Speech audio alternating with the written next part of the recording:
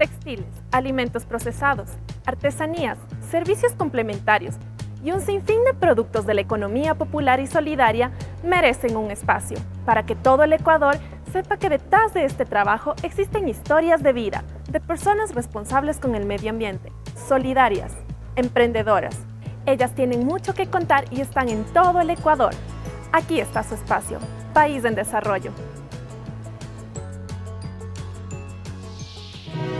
El gobierno de todos.